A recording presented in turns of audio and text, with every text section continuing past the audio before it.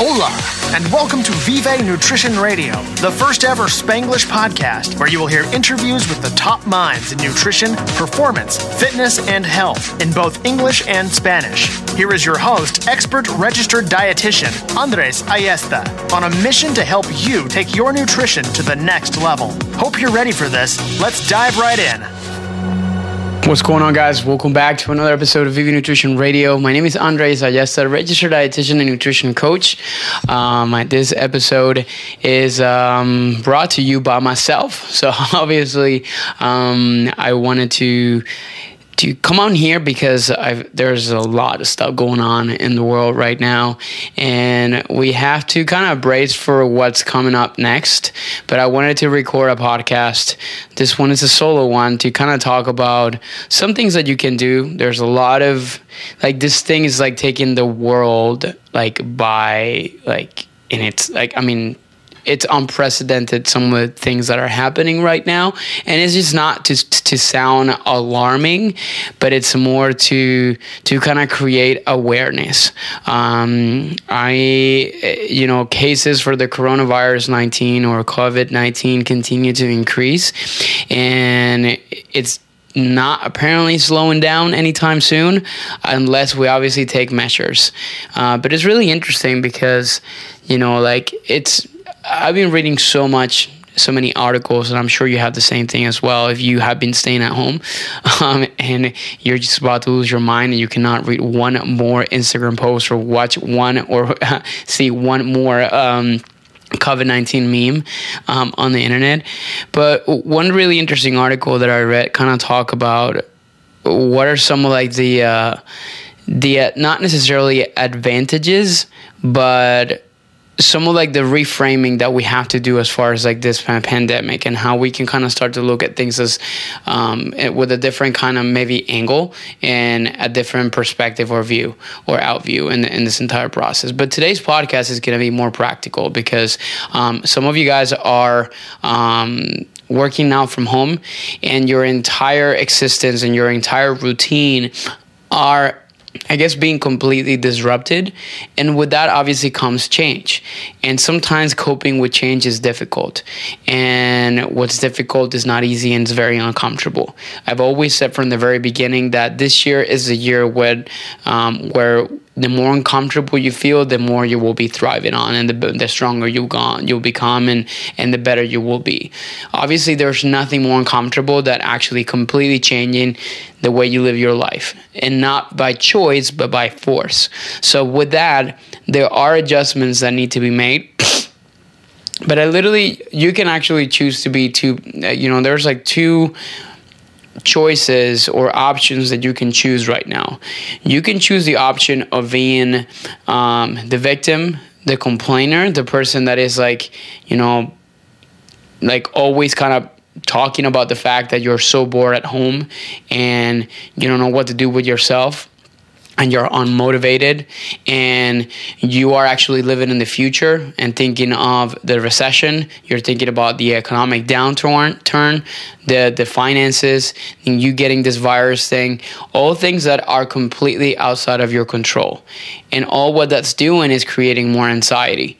And an anxiety fueled mind all it does is make bad decisions or make decisions that are not obviously going to be conducive or supportive of goals that you're trying to reach instead if you can choose and opt in to to to be the person that is positive that is trying to reframe this as an opportunity trying to really focus on the positive of, of this entire thing. And i'm not saying that the coronavirus a pandemic is a positive thing but it's just trying to obviously trying to see things with a different scope. And you know starting to look at it uh, again as an opportunity. This is a time that maybe you can kind of dial it back a little bit in your lifestyle maybe obviously taking some time to to to revisit some things that you haven't really taken a lot of time to revisit like calling a friend calling family members. Like you you are now forced to to being at home. Some of you guys unfortunately and with all the you know the sadness in the world may have lost your jobs or some of you guys may have been laid off. Some of you may still be working from home. There are different circumstances all around the world but it's important that we learn how to cope with it in the best, most effective way. Now, the one advantage that I have here as a podcast host and like, you know, bringing you this episode is the fact that there's one thing that has been really easy for me, which is actually being at home a lot. Mainly because of the fact that we are we we switch our jobs to fully online about a year ago and we have been doing this for a long time. So for us, this is second nature. This is the way that we live our lifestyle. So I wanted to come on here and provide some practical st- tips and strategies that may help you um, kind of change the way that you go you carry yourself through the day to kind of help you obviously kind of have sort of a d- direction on your day so it doesn't feel like or seem like your days are going so slow. Um, and i wanted to to give you some of those strategies to hopefully help you kind of cope with this entire change. So you can maybe turn it into again a positive and something good for you in this next you know we don't know if it's going to be weeks or months. Um, so you're better well prepared. And again this could be a good opportunity for something greater. Um, so obviously i wanted to kind of give you and give it, it kind of give you some advice as far as like some of the things that we implement as um, as people that work from home uh, especially now that you're probably like switching into this kind of environment Number one, the first thing that we always make sure that we're implementing as you know uh, online entrepreneurs is making sure that we have we're organized. If you're not organized, the biggest thing that's going to happen is the fact that you're going to be kind of like running around like throughout the day, um, filling yourself with stress because things are not getting done. Whether you're working from home or you're not, the key thing here is to make sure that you maintain organization, which obviously leads to a very important factor. Obviously, this is a nutrition podcast. If there's a time for you to focus on your nutrition and your health, it's right the F now. Mainly because all the excuses that you always had about not having time to do X, Y, and Z are not now not valid. At the same time, you're spending less money eating at home or less money eating out because obviously restaurants are closed. Um, and obviously, you had the choice to choose whether you want to take get takeout or actually start focusing a little bit more on making home cooked meals. So one of like the biggest things with organization obviously comes planning and preparation and this comes as a number two item, which is going to really help you not only maintain a really good routine from the nutritional standpoint, but at the same time keep a um, some sort of structure on your day to day basis, which is going to help you actually not lose your mind. Because if you don't have a plan, you will people that don't have a plan, they or people don't plan to fail, they just fail to plan, and that's a big thing that happens when you're working from home. Because if you think about it, when you have an office job, you um, you have this routine like down to the T. Like you brush your teeth, you get your breakfast done. Sometimes like you just go out the door, you commute, you listen to the same station every day. You get to the office, you grab the cup of coffee, you sit down in your desk, and then on the day you go. You go to meetings, you go to lunch with the coworker, you do the same thing. You go back to you know you leave like the office, you go to the gym, you come home, and it's done. Now it's okay. You wake up. Now you have more time to to sleep. Now you don't have to you know rush through like commute commute you're not listening to the radio anymore. So again like there's a massive disruption into your lifestyle. So you need to be able to find a time a way to kind of fill those gaps. Now with the biggest mistake that most people make in these kind of situations is they actually start to fill those gaps with either sleep or um, doing things that are just not goal supportive. So they kind of spend an hour on social media like scrolling through pointless things or they just like oversleep a lot of the times and now they're just sleeping until like 10 o'clock in the morning because that's the time they have to be at the office, um, staying their pajama, staying in their PJs all day long. So again, it disrupts the typical routine and is replaced by things that are not supportive of things that you really would want to accomplish. So if instead, if you want to take this entire pandemic and quarantine and being at home, you might want to take it in a different kind of way. So organization and planning and preparation are going to be a key. So for you, and this is number three, start filling up those extra times gap or extra time gaps that you now have that you didn't before because you're obviously having an office job commuting and all those different things to doing things that are productive. Number f- number three here which is actually kind of goes into after organization and planning and preparation is going to be having a very strong morning routine. So if you don't have time to do this because i have like clients for example that they leave anywhere between like six o'clock in the morning um, or five o'clock in the morning they just simply don't have any time unless like they sacrifice their sleep. Now you do. So maybe this is a time for you to start um, taking in new new new things that are going to help you. Um, for example, get better at a specific, maybe learning a new language or reading a book that you've been wanting to read for the longest time, meditating, um, writing on your journal practicing some gratitude. These are things that a lot of people. This is something that things that I personally implement because I make it fit into my mornings.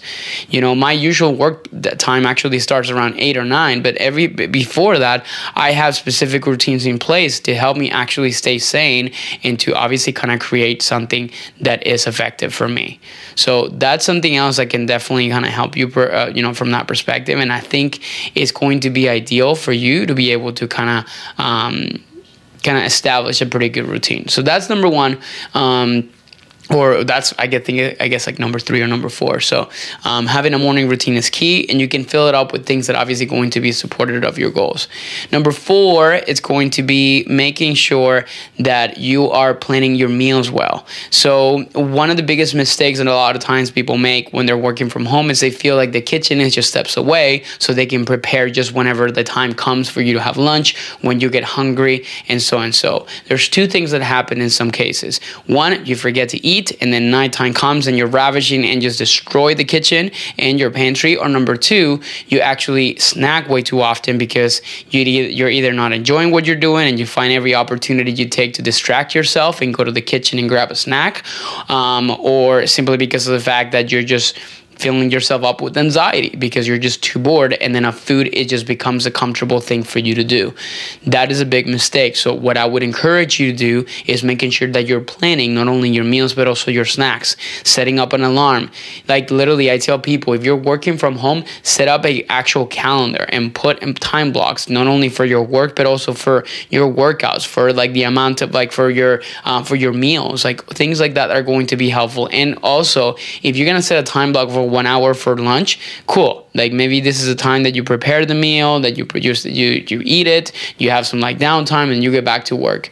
But if you're giving yourself only 30 minutes for meal preparation and, and chilling and everything like that, I would encourage you to make sure that you're planning and preparing meals like you would if you were working on an office normally. Like if you were meal prepping, don't stop doing that right now simply because you're home you will be inclined to do so. And if you're listening to this and it's like, yeah, this is happening to me, it's simply because you're just not developing the discipline and you're just kind of trying to choose that mentality of like, I'm bored or I am home and this is annoying and I'm so tired of this and I'm so frustrated. And obviously, that is blocking you from doing things that are going to be supportive of what you really need to be accomplishing.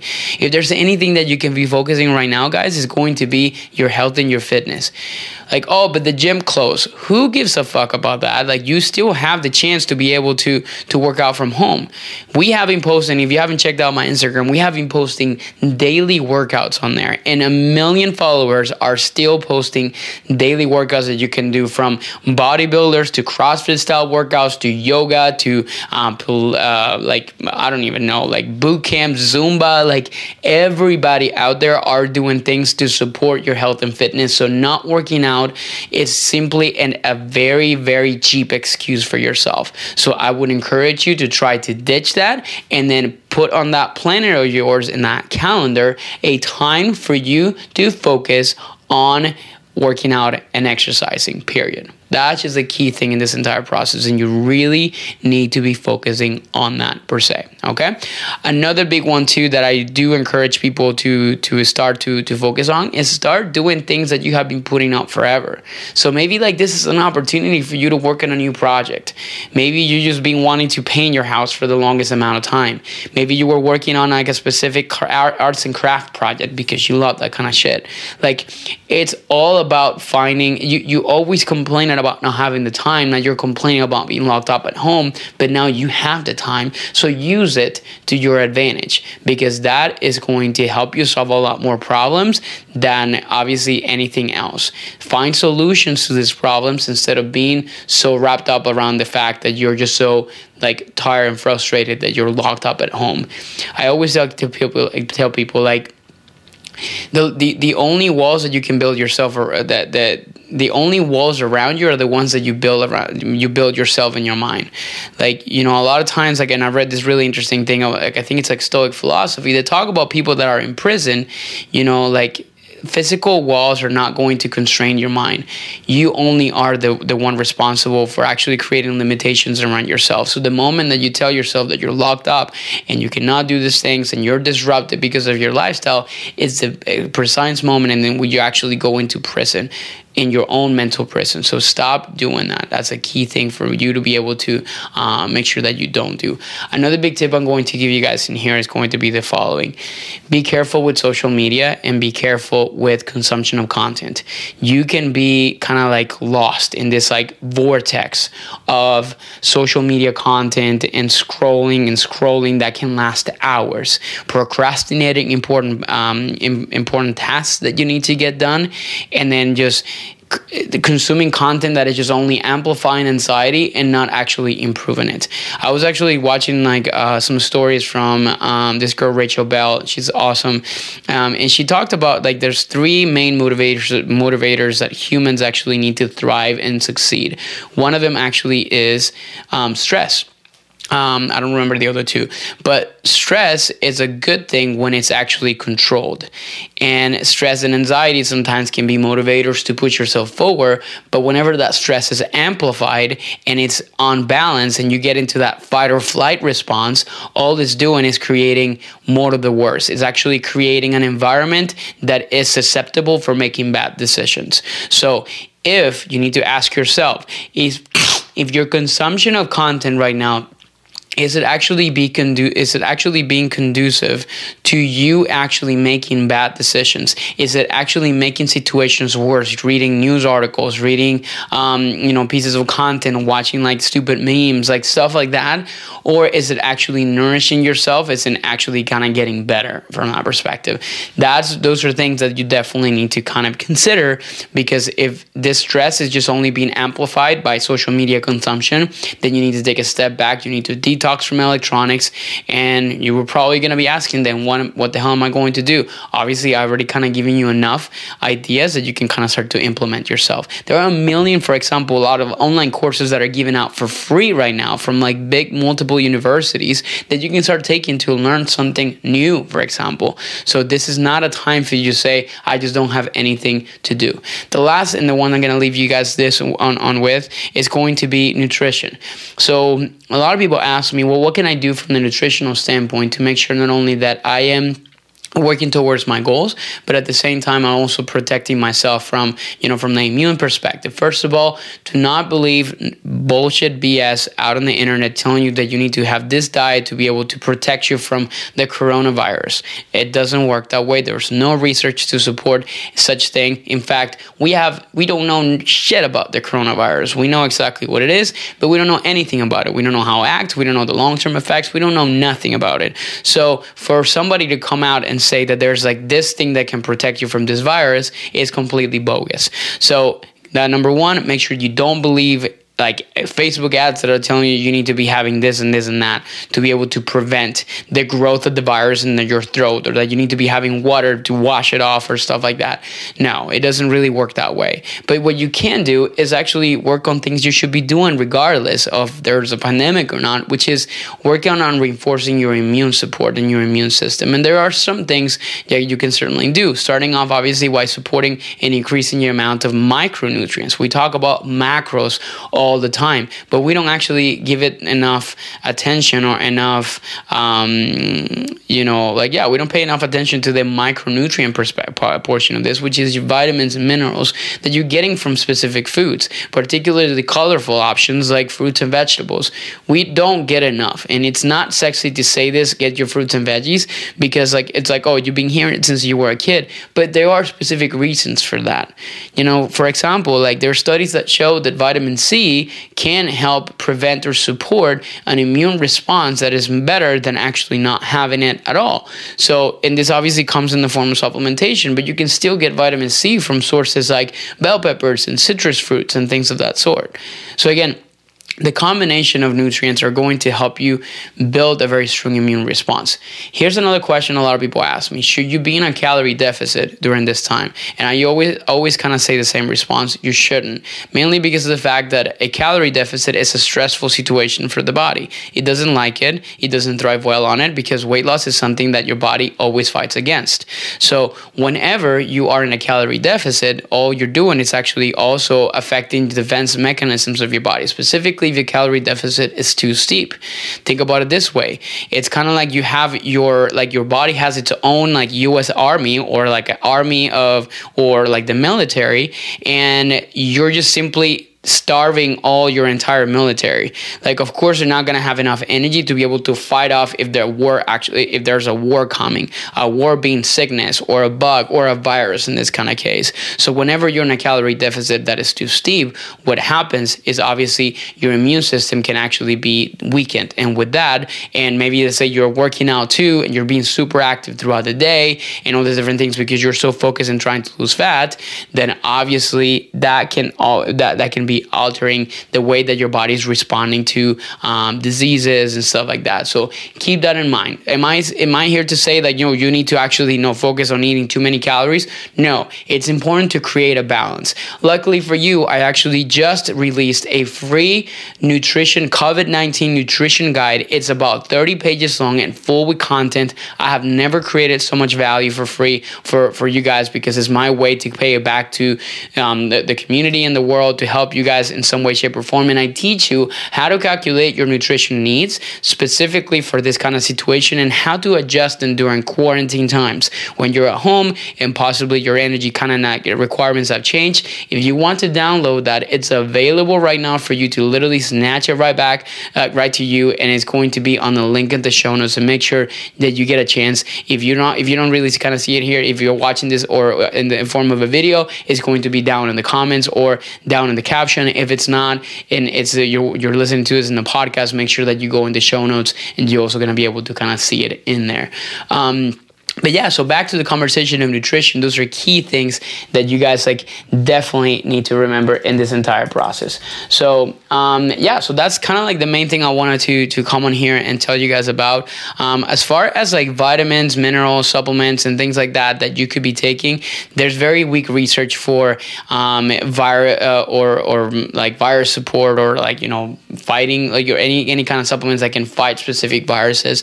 Um, the strongest research actually comes in some forms of um, you can do, definitely uh, take like vitamin C, but as a preventive measure, not necessarily to treat or to to fight anything, but it can help you reinforce immune support. And some research really kind of shows that the ability to fight, fight viruses and colds and stuff like that um, can be strengthened by the fact that you have been taking vitamin C supplementation. I think 120 milligrams per day is more than enough. Um, vitamin D, but you can get this a lot from the sun. Um, being exposed to the sun outside, like you know, going on a walk on a daily basis, part of the routines that we're talking about. Um, and the last but not least, also maybe incorporating and including. Um, oh, this is actually another one that I actually I wrote on the on the guide, which is like zinc, but zinc in the form of um, I don't even know how to say this word, but it's basically kind of like the chews or the kind of things that you can kind of have that are soothing your throat because it has been shown that zinc can support obviously um, or reduce the growth of bacteria or growth of viruses in the back of your throat. Again, this is like not a whole lot of research on it, but it has the strongest support as far as that. The rest of it is just a lot of like really weak research. There's a lot of people in the social media world talking about elderberry. Uh, there's people talking about quercetin. All the things are mostly like antioxidants that can kind of help support immune responses, but not necessarily something that I would kind of like say like yeah, go out there and spend money on it because I don't think it's needed. I think good nutrition support is key, and last but not least, obviously hydration. As my friend Tony Castillo would uh, would say, hydrate or, or dehydrate. In this case, it's, it's extremely important for you to make sure that you're consuming enough water as well. Some people also ask like should you be reducing or um, eliminating specific foods during the coronavirus pandemic? Not necessarily, but obviously if this is a time where you were consuming way too much sugar, way too much of this, and way too much of that, practice moderation. That is a key thing. You know, it's not necessarily like sugar is going to like make a disease um, or or a disease, disease pathway or anything like that a lot worse, but it's obviously not helping the way that you're coping with the situation. You're obviously kind of like pushing too much, you know, insulin throughout the rest of the day and kind of maybe creating some inflammatory responses that are not ideal. But it's not necessarily about cutting out things. It's about moderation in everything you're doing and focusing on nourishing your body, not necessarily trashing it with too much stuff. So keep that in mind. That's the message that I wanted uh, to have for you guys. As I mentioned um, earlier, a couple, a few minutes ago, we do have a COVID 19, we call it the five step survival guide in nutrition and fitness during the, uh, the COVID 19 pandemic. And this is available to you. It's about 30 pages long. It includes like supplementation, it includes like how to calculate macronutrients, uh, lifestyle and routine and building habits, um, workout programming, and at the same time, also like recipes and meal planning and preparation. So it's available for you guys to like, you know, snatch from um, our website. Um, the link is down in the comments or in the caption. Make sure that um, you get it right now. I'm not sure if it's going to be available for too, too much longer, uh, but I just want to make sure that you get something that you can use and that is effective to you. So, anyways, if you found this podcast helpful, let us know and um, on a review, or if you are watching this on YouTube or Instagram, make sure you uh, drop a heart below, drop a comment if this resonated with you. Um, until next time, guys, thank you so much for listening into another episode of Vive Nutrition Radio. Have an amazing day and happy quarantine. Um, that's too much. But, anyways, uh, talk to you soon and uh, thank you so much for watching and listening. Hey, thank you so much for listening to another episode of Vive Nutrition Radio. I wanted to ask you a quick favor. Um, if you enjoyed this episode or if you enjoyed the podcast altogether, make sure you subscribe and leave us a review so we increase our visibility and we continue to reach more people and change their lifestyle through nutrition, uh, performance, fitness, and health. Thank you guys so much, and I'll see you guys on the next one.